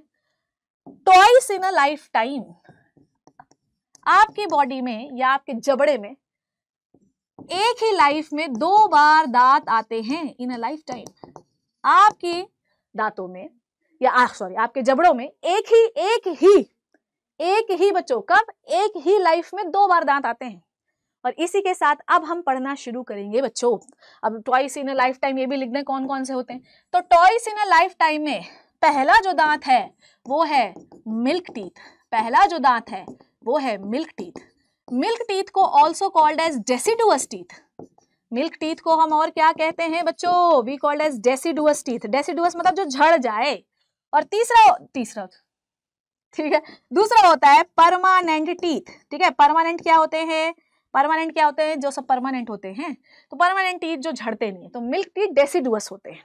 ठीक है? समझ में आई बात? और परमानेंट टीथ जो आ जाते हैं तो हमारे दांतों में कैरेक्टरिस्टिक्स है या हमारे जबड़े में कैरेक्टरिस्टिक्स है, हमारे बॉडी में ये कैरेक्टरिस्टिक्स है कि हमारे दांत जो है वो दो बार आएँगे। ठीक है? अब हम शुरू करते हैं भाई डेंटल फॉर्मूला कैलकुलेट करना। ठीक है? डेंटिशन, हमारा जो दांत का अरेंजमेंट है, उसका क्या डेंटल फॉर्मूला है, वो हम समझते हैं। डेंटल फॉर्मूला होता क्या है, क्या आप लोगों को पता है? मतलब एग्जैक्टली exactly आप जानते हैं डेंटल फॉर्मूला क्या होता है? Dental formula is the arrangement of the teeth or it is the calculation of the arrangement of teeth. समझ में आई बात? What the, what is the dental formula? It is a calculation. किसका calculation है? Shipra ma'am के आँखों का power का? नहीं। It is the calculation of calculation of teeths in the jaw in the jaw jaw में कितने टीथ हैं? उसका कैलकुलेशन है ये. टीथ ठीक है? क्लियर अब हम एक जबड़ा बनाएँगे, जिसको आपको कैलकुलेट करना बहुत ज़रूरी है. बिना जबड़ा बनाए काम नहीं बनेगा, है ना? तो एक जबड़ा बना लेते हैं, सुंदर सा. ये एक बाबू मोशाई का जबड़ा है हमारे. ठीक है? अब इस जबड़े को हम चार भागों में डिवाइड करेंगे. इस जबड़े को हम चार भागों में डिवाइड कर लेते हैं. चलो बेटा, इस जबड़े को हम चार भागों में डिवाइड कर लेते हैं. दांत बनाना शुरू करिए. ये हैं इंसीजर्स ठीक है? ये है कैनाइन ज़्यादा थोड़े बड़े बड़े बनाने पड़ेंगे कि जबड़ा कुछ ज़्यादा ही मैडम ने बना, बड़ा बना दिया ये है इंसीजर्स ये है कैनाइन ठीक है, ये है प्री मोलार ठीक है, और ये हैं आपके मोलार्स ठीक है? तो अगर मैं पूछूँ कि आपके पास टोटल ये मत बोलना कि 25 साल के पहले तक ये हो सकता है सकता नहीं। टोटल दांत कितने होते हैं आपके पास? How many tooths we have 32 ठीक है? अभी आपके पास नहीं भी है तो भी हम मान अभी 32 ही रहे। आप कैलकुलेट करिएगा। ये है इंसीजर्स इंसीजर्स कितने हैं? दो। ये है केनाइन केनाइन कितना है? वन ये है प्री मोलार कितने हैं? दो। ये है मोलार मोलार कितने हैं? तीन। ठीक है? समझ में आई बात? अब जो दांत यहाँ है same to same exactly same यहाँ भी होगा। ठीक है? मतलब जो दांत, जैसे मैं यहाँ खड़ी हूँ तो जो दांत मेरे यहाँ है, वही दांत सेम सेट यहाँ है, वही सेम सेट यहाँ है, वही सेम सेट यहाँ है। तो सेम सेम इन तीनों सेट में रहेगा। रहेगा? ठीक है? तो अगर मैं जबड़े का ये वाला हाफ़ ले लूँ तो चलो पहले लिख लेते हैं। पहले लिख लेते हैं आई सी पी एम ये ऊपर वाला जबड़ा और ये नीचे वाला जबड़ा। आई सी पी एम मतलब incisors canine premolar and molar अब मैं जबड़े का ये वाला हिस्सा लिख रही हूँ। तो आई कितना है? टू सी कितना है? वन प्रीमोलर कितने? दो। मोलार कितने? तीन। सेम आप नीचे यहाँ वाला लिख लो। टू वन टू थ्री अब इंटू टू करो, क्योंकि जो चीज़ यहाँ है, वही सेम चीज़ यहाँ भी है। तो इसको टू करो इंटू करो जरा, कितना आएगा? फोर टू फोर सिक्स नीचे लिखो फोर टू फोर सिक्स आएगा? अब इसको टोटल करो। इंटू मत कर देना, है? जहाँ तुमने इंटू किया, वहाँ पे तुम्हारा बेड़ा गर्त हुआ। अब इसको यहाँ पे लिख रही हूँ मैं। जब इसको प्लस करो, चार चार, आठ, और दो, दस, और सोलह। तो सोलह हो गए, ऊपर सोलह हो गए, नीचे।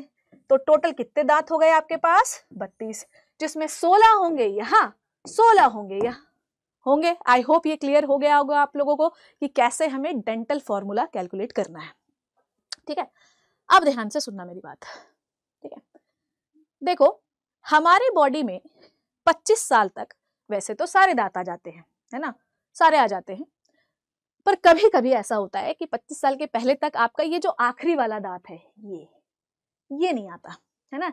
ये जो आखिरी वाला है, ये नहीं आता। ठीक है? तो ये वाला जो आखिरी वाला दांत है, इन्हें हम क्या कहते हैं? It is a last molar ये क्या है? लास्ट मोलार इन्हें हम also called as wisdom tooth इन्हें हम क्या कहते हैं बेटा? इन्हें हम कहते हैं विजडम टूथ अकल की दाढ़। ठीक है? और ये एक वेस्टिजल ऑर्गन है। ये क्या है बेटा? वेस्टिजल ऑर्गन है। ये आपके शरीर में तो है वेस्टिजल पार्ट है वेस्टिजल ऑर्गन है, पर इसका कोई काम नहीं है।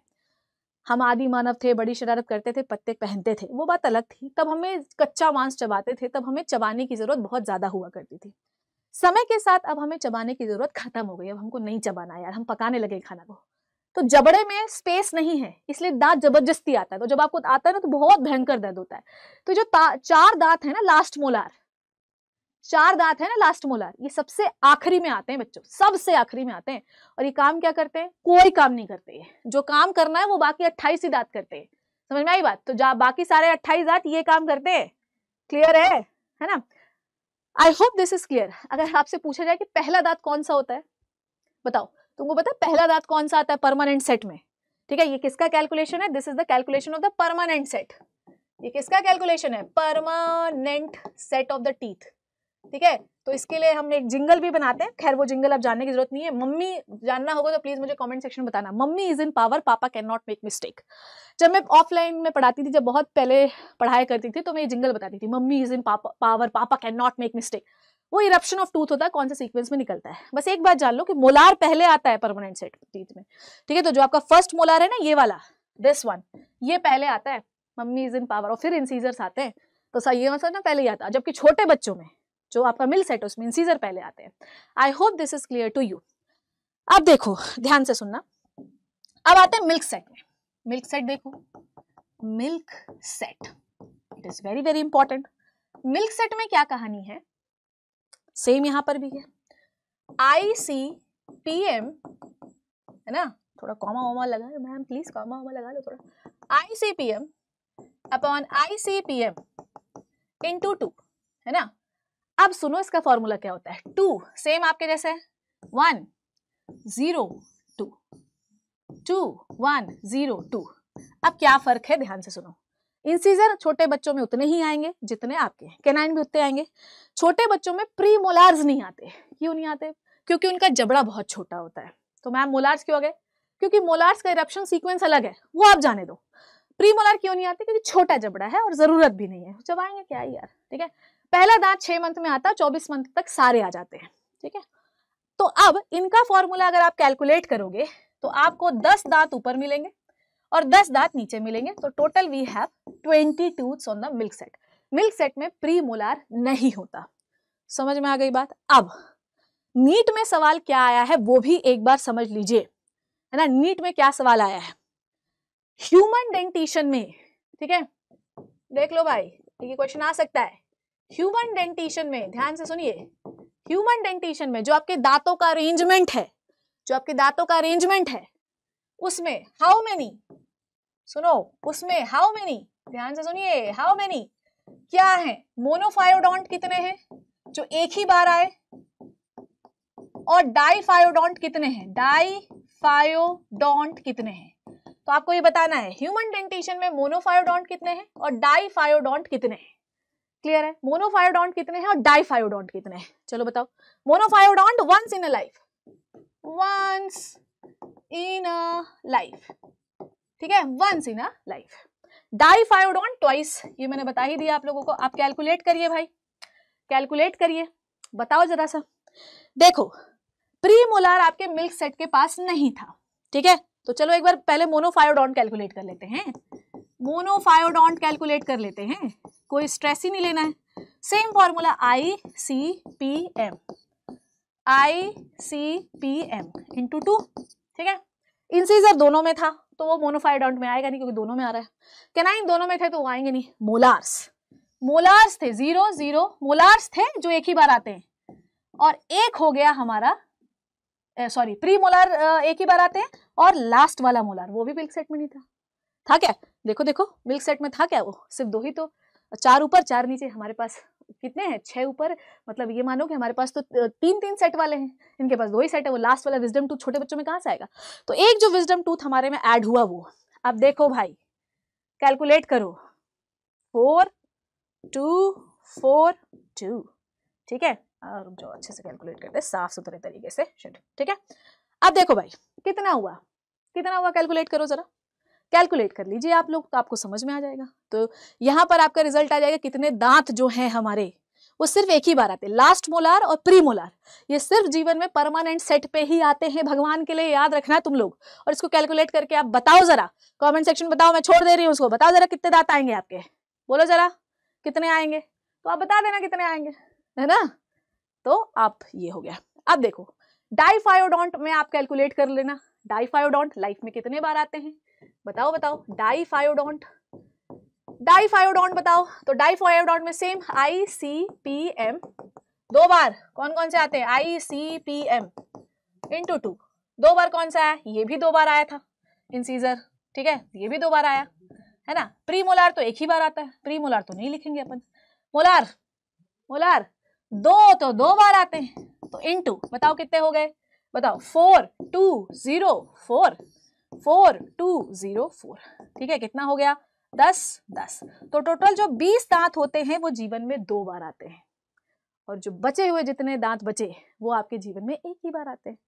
ठीक है बच्चों I hope this is clear to every clear हो गया है सबको? बताओ जल्दी से। मोरोफायोडॉन की कहानी क्लियर हो गई है? ये भी क्लियर हो गया होगा। है ना? इसको भी कैलकुलेट कर ही लो। नहीं तो बोलोगे, मैम, कराया नहीं। है ना? चार ऊपर तो छह ऊपर और छह नीचे। तो टोटल जो बार, सोलह लिख दिया, देखो मुझे। तो टोटल जो बारह दांत हैं, वो आपके लाइफ में एक ही बार आते हैं। ये क्वेश्चन है और ये इंपॉर्टेंट है, ठीक है? चलिए भाई तो ये आपके नोट्स है, आप देख लेना। ये सब मैंने बना रखा है इंसीजर्स के नाइन चार प्रकार के होते दांत।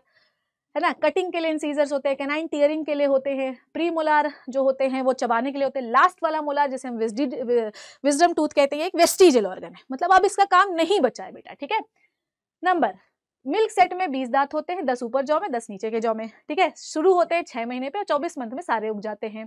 परमानेंट सेट जो होता है वो छह ईयर से शुरू होकर ये मतलब तुम मानो 25 साल तक, ये जो लास्ट मोलार है ना, ये बहुत परेशान करता है बच्चों। लास्ट मोलार बहुत परेशान करता है, लोगों का 25-25 साल के बाद भी आता है, कई बार नहीं भी आता है है ना? तो स्पेस नहीं है तो नहीं भी आता। डेंटल फॉर्मूला मैंने आपको कैलकुलेट करना बता ही दिया। अब लास्ट पार्ट जो हमें पढ़ना है जो आप नहीं पढ़ेंगे तो भी चल जाएगा, पर पढ़ लो यार। क्योंकि इंपॉर्टेंट है, मज़ेदार चीज़ है तो पढ़ लोगे तो फ़ायदा रहेगा। अब हम बात करते हैं स्ट्रक्चर ऑफ़ टूथ की, है ना? तो वी हैव कंप्लीटेड शुरू से शुरू करते हैं एक बार कहानी। हमने शुरू किया था फ़ूड से। फ़ूड के अंदर हमने पढ़ा, क्या करता है फ़ूड उसको करवाने के प्रोसेस को न्यूट्रिशन कहते हैं। फिर हमने न्यूट्रिएंट्स पढ़े, फिर हमने न्यूट्रिएंट की कैटेगरी पढ़ी, फिर कहाँ होता है न्यूट्रिएंट पढ़ा? फिर हमने डाइजेशन की डेफिनेशन पढ़ी, फिर हमने एलिमेंट्री कैनाल पढ़ा एलिमेंट्री कैनाल के पार्ट्स कौन कौन से होते हैं वो पढ़े।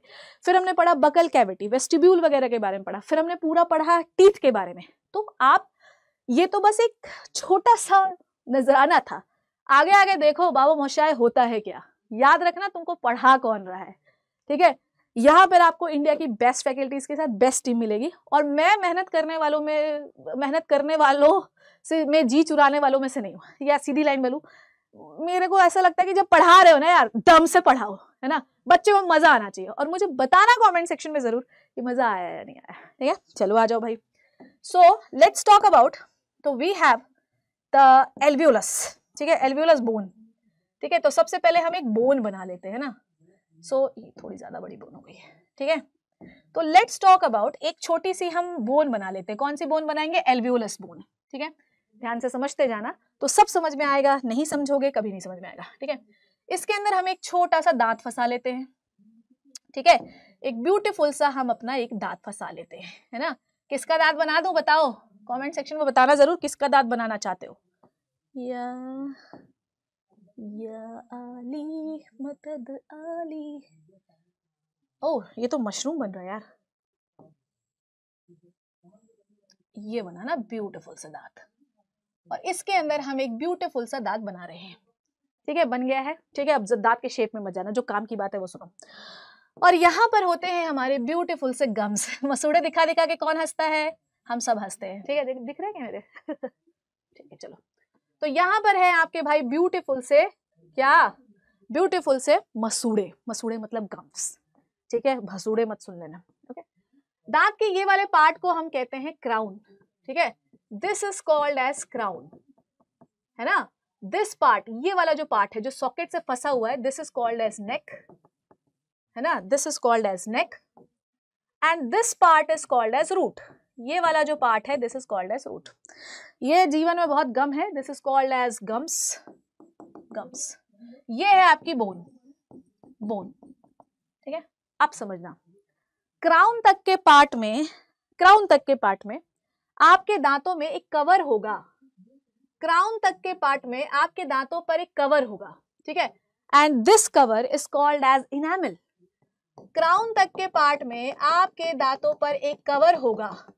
This is called as enamel क्या कहलाता है बच्चों? इनेमल इनेमल ठीक है? Enamel is the hardest part of the tooth या पूरे बॉडी का, ठीक है? It is the hardest part ये कैसा पार्ट है बेटा? It is the hardest part of the body क्यों? क्योंकि इसमें कैल्शियम फॉस्फेट या मिनरल कंटेंट सबसे ज़्यादा है। इसलिए ये बॉडी का सबसे हार्डेस्ट पार्ट कहलाता है। सबसे ज़्यादा हार्डेस्ट इससे ज़्यादा कुछ हार्ड नहीं होता बेटा। सबसे ज़्यादा हार्ड पार्ट यही है। मतलब ये इतना हार्ड होता है कि इसके ऊपर तुम लोहे की रगड़ोगे ना, छड़। लोहे की छड़। तो इससे चिंगारियाँ उठेंगी, इतना मिनरल होता है इसके पास। ठीक है? इनामल इनेबल को बनाने वाली जो सेल्स होती हैं, वो होती हैं एमिलोब्लास्ट किसी और कलर से लिखेंगे, पूरा वाइट वाइट हो रहा है। एमिलोब्लास्ट सेल ये एमिलोब्लास्ट सेल्स जो होती हैं इनएक्टिव हो जाती हैं। मतलब अगर, जब आपका टूथ इरप्ट हुआ इनेमल उसके ऊपर बना, सिर्फ़ क्राउन तक होता है, उसके बाद ये सेल्स इनएक्टिव हो जाएँगी। कभी काम नहीं करेंगी। एक बार इनेमल बन गया मतलब बन गया, खत्म। ठीक है अब सुनो, है ना? हार्डेस्ट पार्ट हो गया एमिलोब्लास्ट सेल्स हो गई, ठीक है? ओके अब इसमें बहुत सारा मिनरल होता है और क्राउन तक ही कवरिंग पार्ट होता है कवर करता है। अब दांत का जो अंदर वाला पार्ट होता है बच्चों, पूरा, ये पूरा जो आपको दिखाई दे रहा है this is called as dentine ये वाला पार्ट कहलाता है डेंटाइन या डेंटीन ठीक है? It is the second hardest part of the मतलब टीथ का जो पूरा अंदर का हिस्सा है, वो है डेंटाइन ठीक है? अभी डायग्राम भी लेके आई हूँ, बहुत भयंकर वाले हैं। अब सुनो भाई डेंटीन को कवर करने के लिए, कौन सा कलर लू? डेंटीन को कवर करने के लिए रूट वाला जो पोर्शन है उसके पास एक ऐसा कवर होता है which is called as cement है ना? सीमेंट देखो सीमेंट डेंटीन को मतलब जगह आप देखो भाई, आपके मसूड़ों से दांतों को जोड़ वोड़ के रखना है तो उसके लिए एक, हमारे पास एक मटेरियल होता है, जिसे हम कहते हैं सीमेंट सीमेंट होता है. किसके किसके पास होता है बेटा? डेंटीन के बाहर होता है. सीमेंट ताकि चीज़ें जगह पर रहें. ओके अब ध्यान से सुनेंगे. सीमेंट के बाद एवरीबडी प्लीज़ फोकस सीमेंट के बाद बोन और सीमेंट के बीच में यहाँ पर एक ये कलर हो गया ना। हम्म, कौन सा कलर लू यार? क्या ये विजिबल है आप लोगों को? ये देखो क्या ये विजिबल है आप लोगों को? I hope this is visible to you है ना? यहाँ पर देखो आपके दांतों को सॉकेट में फसाए रखने के लिए एक लिगामेंट होता है जिसे हम कहते हैं पेरिडोंटल लिगामेंट क्या कहते हैं पेरिडोंटल लिगामेंट क्या करता है periodontal ligament held the tooth held the tooth into the into the socket. Socket socket में दांत को फंसाए रहता है। लिगामेंट पड़ा है बोन से बोन को अटैच करने के लिए। Teeth is a kind of bone not a bone ठीक है? पर उससे फंसाए रहने के लिए we have that periodontal ligament so we have dentin dentin के बाहर सीमेंटम सीमेंटन के बाहर लिगामेंट लिगामेंट काहे के लिए? ताकि टूथ के अंदर फंसा रहे। और यहाँ पे फाइबर्स भी होते हैं शार्पीस फाइबर वो आपको नहीं पढ़ना है। नाउ लिसन टू मी ये जो जगह आपको दिखाई दे रही है बच्चों लिसन लिसन मेरे प्यारे बच्चों, ये जो जगह आपको दिखाई दे रही है ना, ये बहुत इंपॉर्टेंट जगह है। दिस जगह is called as pulp cavity ठीक है, ये जो जगह आपको दिखाई दे रही है बच्चों, ये है पल्प कैविटी क्या है बच्चों? पल्प कैविटी ठीक है, एक और चीज़ बता दूँ मैं, कहाँ गए? डेंटीन। डेंटीन को बनाने वाली सेल्स जो हैं, वो हैं ओडोंटोब्लास्ट ओबोंटो लिख दे, देख रहे हो मुझे? देख रहे हो? ओडोंटोब्लास्ट ओडोंटोब्लास्ट ये रहती हैं दांत। में जीवन भर बनती रहती है, कोई दिक्कत नहीं है, ठीक है? Pulp cavity. आप देखो यार, यहाँ पर एक छोटा सा छेद होता है, जिसे हम कहते हैं एपिकल पोर, ठीक है? यहाँ लिख देती हूँ मैं। यहाँ पे एक छोटा सा छेद होता है, जिसे हम कहते हैं एपिकल पोर पोर मतलब छेद। अब इस पोर में से एंट्री लेती है बच्चा, इस पोर में से बहुत सारी चीज़ें पल्प कैविटी की ओर एंट्री लेती हैं, देखो। इस पोर में से बहुत सारी चीज़ें एंट्री लेती हैं। देखो क्या क्या बना रही है ma'am because it is very very important ठीक है? देखो मैम क्या क्या बना रही हैं। देख रहे हो बेटा? है ना? तो यहाँ पर आपके इस पल्प कैविटी में क्या क्या होता है? पल्प कैविटी में होती है आर्टरी। ध्यान से सुनो। पल्प कैविटी में होती है आर्टरी। पल्प कैविटी में होती है वेन्स।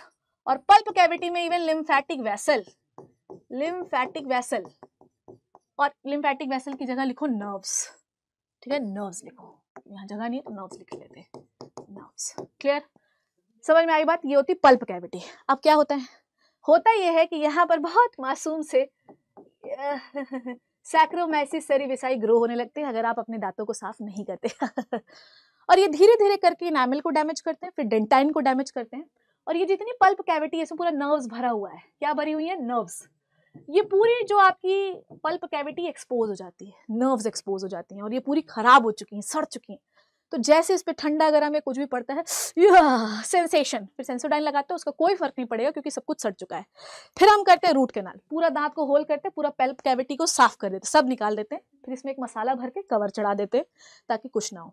एपिकल पोर से ही सारी कुछ एंट्री लेती हैं, समय के साथ आपके दांतों की जो लेंथ होती है, वो कम हो जाती है।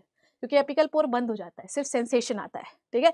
एपिकल पोर जब तक खुला रहेगा, तब तक आपके दांत बढ़ते रहेंगे। जैसे हाथी की जो दांत है, उनका एपिकल पोर खुला रहता है, इसलिए वो बड़े रहते हैं। So this is the structure of the tooth जितना ही आपको जानना था, उतना मैंने आपको बता दिया है, ठीक है?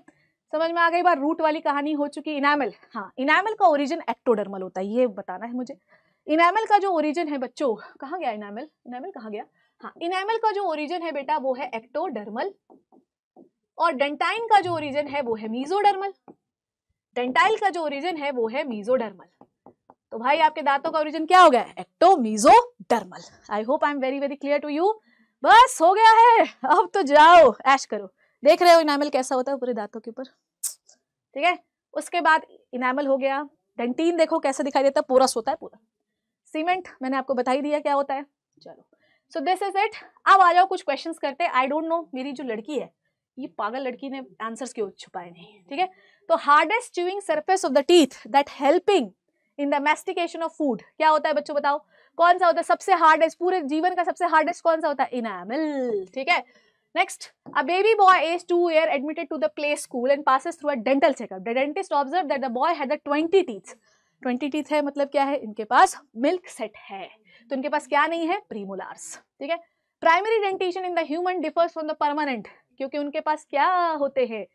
प्राइमरी हमारे पास देखो प्राइमरी डेंटेशन मतलब कि वो वाला टेम्परेरी वाला डेसिडुअस वाला मिल्क टीथ ठीक है? और परमानेंट हमारा हो गया तो हमारे पास क्या है? प्रीमोलर हमारे पास क्या क्या होता है? थीकोडोंट डाइफायोडोंट हेट्रोडोंट हाँ ठीक है, यही है हमारा, यही है हमारा और क्या है, ठीक है? नेक्स्ट इज़ तो ये हो गया है भाई आपका डाइजेशन एंड एब्जॉर्प्शन का कौन सा वाला पार्ट टीथ वाला पार्ट और अब आप जाइए जाइए जाइए जाइए, ठीक है? और ऐश करिए और थोड़ा मोटिवेशन भी लेते ही जाइए क्योंकि आ गए हैं tomorrow is too late yesterday is over ठीक है? येस्टरडे हो चुका है टुमारो बहुत देर है। तो जो है, वो अभी है और इसी समय है। समझ में आ गई बात? तो कल का इंतज़ार मत करिए। जो कल हो गया है, उसका इंतज़ार करने का कोई फ़ायदा नहीं है। तो जो आज है, उसी को एंजॉय करिए। लेक्चर बताइएगा ज़रूर कैसा लगा। I hope you people learn and enjoy the session thank you so much बच्चों। टेक केयर इसके बाहर, इस टॉपिक में से क्वेश्चन नहीं आएगा गारंटी है मेरी। Thank you so much take care